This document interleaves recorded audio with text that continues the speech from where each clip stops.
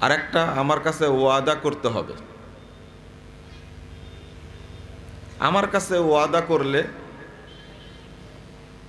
ভঙ্গ করলে আল্লাহ হয়তো ক্ষমা করবেন ইনশাল্লাহ আশা করি। আমি বলছি না যে আল্লাহর কাছে ওয়াদা করেন। কি বললাম? আমার কাছে দয়া করে ওয়াদা করবেন যে আলোচনাগুলি শুনবেন। সেইগুলো আল্লাহর ওয়াস্তে, আল্লাহকে সন্তুষ্ট করার জন্য জান্নাতুল ফেরদাউসের জন্য আমুল করবেন। ইনশাল্লাহ জোরটা খুব একটা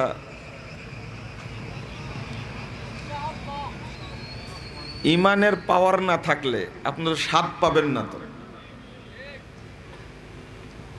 লাইটের ভোল্টেজ যদি কম থাকে, আলো বেশি দিবে? না, দিবে না। তো আমি বেঈমান বলছি না, হয়তো ইমান আছে আশা করি। যদিও একজন লোক আমাকে খুব দুঃখ করে বলছেন যে ইমানের পরিচয়ে আলোচনা শুনে আমি নিরাশ হয়েছি যে আমার মধ্যে ইমান নাই। আমি বলেছি যেহেতু নিরাশ হয়েছেন তাহলে বক্তব্যে বলা আছে, কি করলে ইমান থাকবে? সেটা করেন। একজন খুব জোরে বলেছেন।